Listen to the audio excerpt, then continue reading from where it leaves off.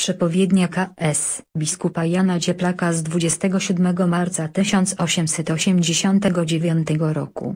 Aresztowany w Kijowie z 18 księżmi, ksiądz biskup Jan Cieplak siedział w więzieniu w Moskwie na Butyrkach. W 1923 roku został wymieniony wraz z księdzem Wincentym Balulem na Bolesława Bieruta, ówczesnego członka KGB więzionego w Polsce.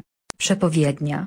Anioł na gwiazdy pokazał i rzecze, patrz, tu wszechświata pisane są dzieje i ręce Boga rzucone w koleje, bo Bóg tak ułożył losy człowiecze i tej, o którąś się modlił i płakał. Ojczyzny Twojej Bóg wyznaczył dzieje, choć dziś żałoba jest nocą, lecz patrz, choć jeszcze będzie pod przemocą, bo od tej chwili upłynie ćwierć wieku, świat się pożogą zrumieni, krew się poleje, a z tej ćmy pożarów Polska powstanie, bo mąż ją ocali od Boga pozwany, który na straży ziem polskich swe serce położy. Lecz bądź w nadziei i módl się w pokorze, nie zgłębi Boga myślenie człowiecze. Ciężko doświadczą was wyroki Boże. Nim się następne przechyli ćwierćwiecze, wilk z krwawą paszczą, wiecznie żądny mordu, co się pod znak czarnych krzyży chowa, krzyż splugawiony weźmie za swe godło, rozpocznie narody pożerać dokoła, krwawe swe ślepiaków wschodowi zwróci. Zastęp rozszerzy na kształt chmur i ptactwa, całą potęgę na twój kraj wyrzuci, popełniając mordy oraz świętokradztwa. Drugi niedźwiedź zdradziecki, który słowo Boże z błotem zmieszał i zdeptał, a młotem rozwalił kościoły. On się wpierw z wami ugładzi, a potem zdradziecko nóż w plecy wsadzi. Próżno będziecie dobywać oręża, na ten czas w walce z dobrem, zło zwycięża.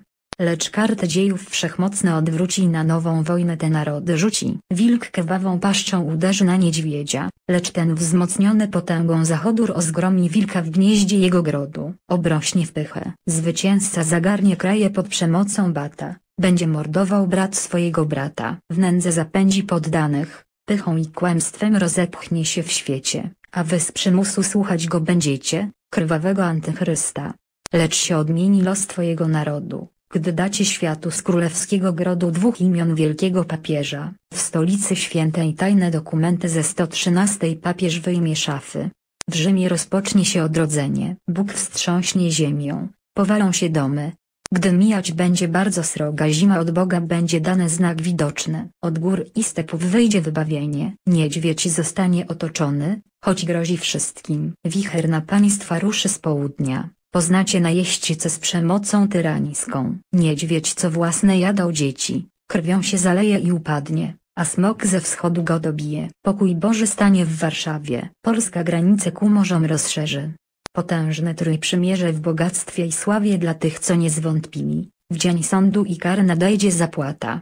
Tak mówił anioł, uleciał w gwiazdy, a jam się ocknął na swoim klęczniku i jeszcze mu słyszał z daleka. Niech się twój naród nie ulęknie kary, ręka Boża powiedzie wśród nocy zanim dni lata nadejdą gorące, rozdepcze wrogów waszych i nadejdzie koniec. Ta przepowiednia została przywieziona z Ukrainy w roku 1941 lub 1942. Tekst tej przepowiedni ktoś przywiózł do Stoczni Gdyńskiej około roku 1982 do Społecznego Komitetu Budowy Pomnika Ofiarom Grudnia 1970.